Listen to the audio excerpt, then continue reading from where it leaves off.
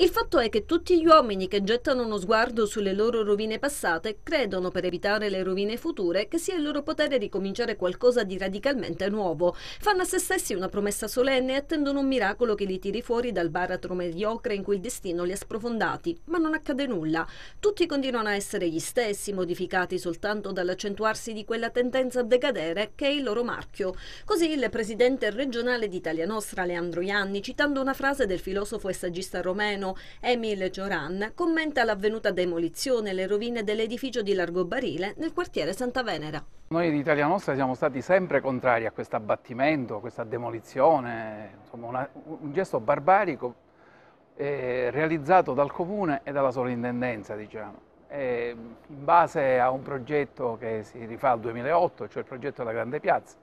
E comunque questo progetto che insomma, si andrà a realizzare non ha niente a che fare più con quel progetto.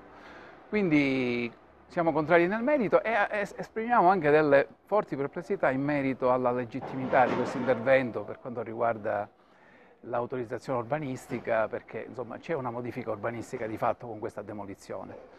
E in più i lavori, insomma, la gara d'appalto e i lavori sono stati gestiti, secondo noi, non nel rispetto delle norme ambientali, ecologico-ambientali. Cosa andava fatto per rispettare queste norme?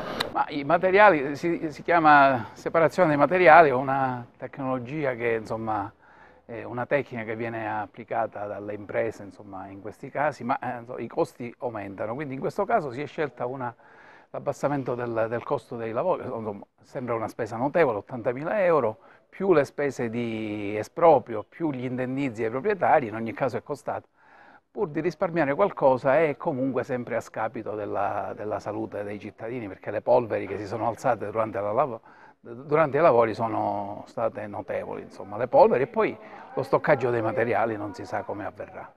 La cosa strana è che si dovrebbero abbattere quei palazzi pericolanti, eh, privi, assolutamente privi di qualità nelle periferie della città e invece eh, si abbattono, si demoliscono edifici storici nel centro storico della città eh, trasgredendo quello che era poi il programma di questa amministrazione. Quindi noi restiamo assolutamente stupiti di queste scelte, per noi inspiegabili, anche perché l'edificio che è stato abbattuto aveva una buonissima consistenza eh, materica, strutturale e quindi non andava abbattuto. Laddove gli edifici sono pericolanti è chiaro che bisogna intervenire con le demolizioni e eventualmente la ricostruzione, ma in questo caso l'intervento è assolutamente gratuito e privo di senso.